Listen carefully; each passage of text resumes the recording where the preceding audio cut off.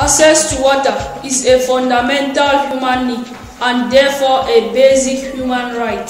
During the dry season in Cameroon, water level goes down.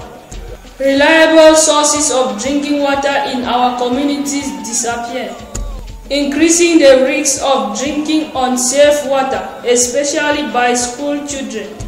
In Banki, women and children walk 10 miles or more every day to fetch water for domestic use.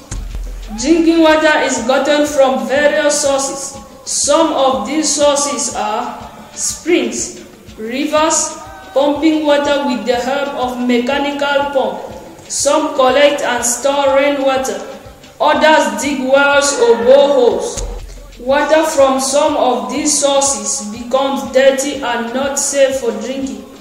When people consume dirty water, they contract diseases like typhoid, diarrhea, and cholera. Good drinking water should have the following qualities no smell, no taste, no color, and no germs. Simple water treatment techniques for use at home can save life by preventing diseases. Boiling dirty water at 100 centigrade can kill diseases organism and make the water fit for consumption.